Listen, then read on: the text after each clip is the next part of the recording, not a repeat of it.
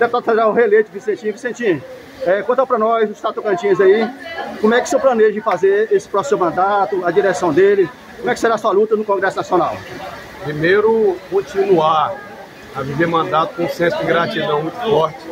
Quem me acompanha, quem me conhece, quem me segue no mandato, nas redes sociais, na imprensa, sabe que cabe ao deputado Vicentinho uma marca de fiscalizar, de debater, de fazer o enfrentamento e vamos construir o Tocantins juntos. A bancada federal, o governo federal, o governo estadual, o Tocantins que nós, tocantinenses, merecemos. E eu, como deputado federal, muito honrado, muito feliz de poder representar pelo terceiro mandato, quero fazer parte dessa linda história do nosso Tocantins. Deputado, só para encerrar, né, uma grande vitória sua, né, a federação da BR-010.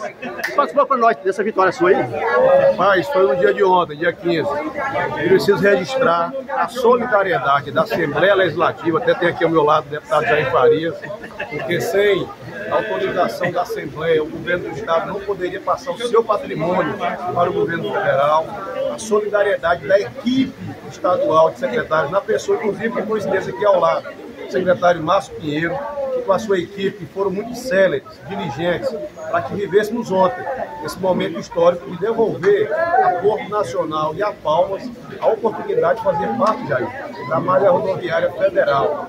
O que, que, é isso, Jair? É você ter a oportunidade de trazer duplicação de Porto para Palmas, trazer um novo anel viário do Porto Nacional, ajudar na, na, no anel, na alça viária da capital e mais investimentos no governo federal, via bancada federal, dos três senadores, dos juízes federais da qual eu.